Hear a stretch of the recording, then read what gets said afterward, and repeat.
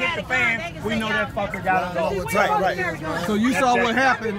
Yeah, Well, Tell, tell me what happened down there, because I recall. Dude was inside. He was inside. He was looking at us through the uh-huh. window. Uh-huh. Once he seen us come down, he uh-huh. came outside, had a gun on us, and approached us. He had a Then, gun on yeah, he had a gun on it. So I told the police officer, I said, man, he got a gun on him. Oh, he's a business owner. He's protecting his property.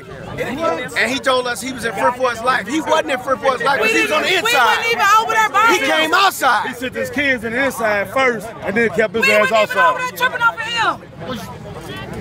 For instance, Was y'all even on proper on we their over here walking down the street. We was in the street. We hadn't even got on the He's sidewalk. across the street.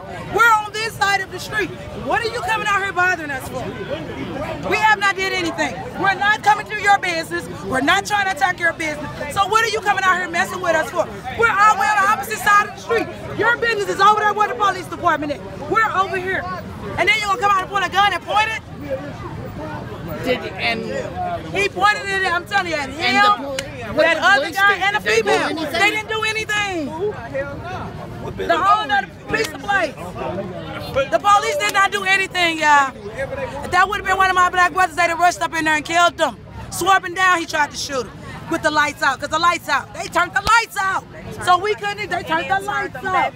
And then turned them back on. On the street, the street light? No, the business light, because he was standing in, he was standing in the glass talking stuff. Street lights too. All these Yes. lights on this side went out. All Yes. these lights. What's Cause he's standing in the window talking stuff. He got his gun showing. How's you protecting your business? That ain't nobody even threatening your business. I'm, yeah, I got a problem with that. I got a big problem with that.